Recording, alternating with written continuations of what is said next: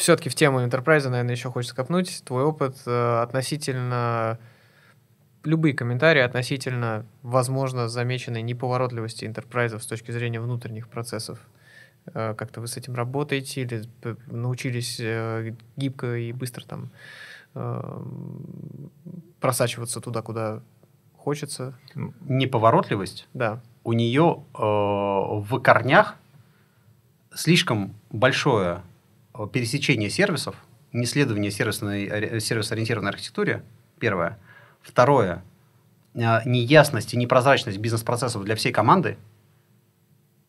Вот это ключевые вещи, которые, э, когда начинаешь разруливать, каждое следующее действие начинает ускорять команду.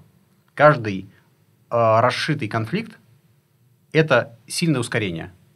Вот. Это действительно можно делегировать теперь разные как бы задачи. И а, потому что еще э, проблема-то в чем именно такая сложность IT-систем не позволяет бизнесу целиком э, отвечать за собственный результат. Да вот э, представьте бухгалтера который полностью отвечает за свой результат.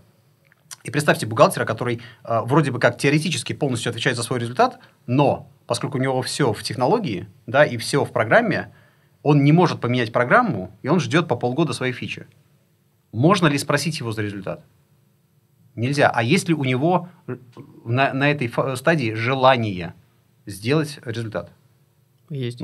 Ну, есть, но э, пассионарность утрачивается. Ну, да, как бы, да. Потому что ты понимаешь, что, блин, но чтобы, постоянно подавляет, да. чтобы за, за, получить эту зеленую фичу, мне надо, теперь надо, ну, там, полгода, да?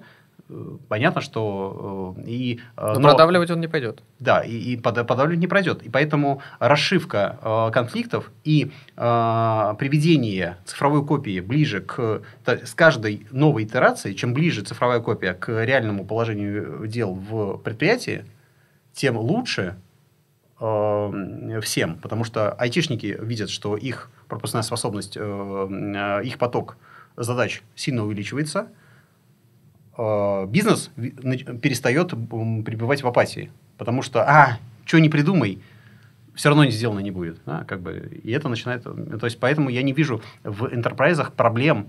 Э, то, то есть, да, иногда бывают проблемы э, в, в плане там, бюрократии, там, тендеров там, и так далее, но это э, как бы, на каком-то уровне эти проблемы перестают существовать. Как бы, ну, э, обычно нам э, что отдел закупки говорят, или там продукт-оунеры, вы потерпите, тут, да, у нас там 25 бумажек, там их надо будет 25 раз еще пересогласовывать, но потом все будет нормально.